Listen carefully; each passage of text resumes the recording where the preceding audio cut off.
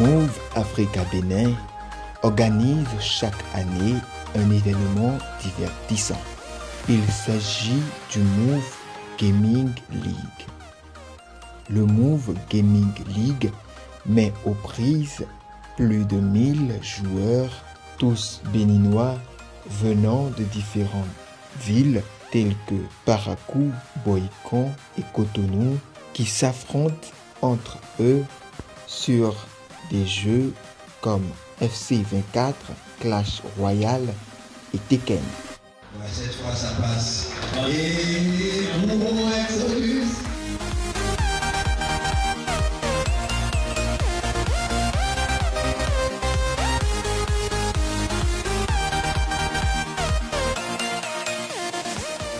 Je trouve que c'est une très bonne initiative.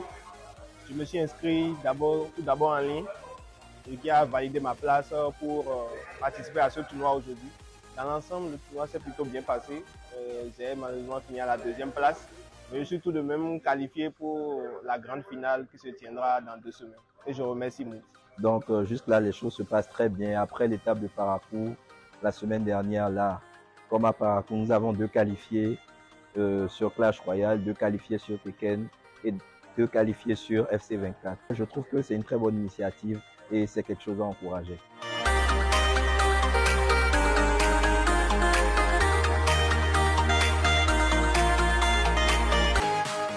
La première et la deuxième édition de cet événement divertissant organisé par Move ont porté leurs fruits grâce à la participation massive des jeunes béninois passionnés des jeux vidéo.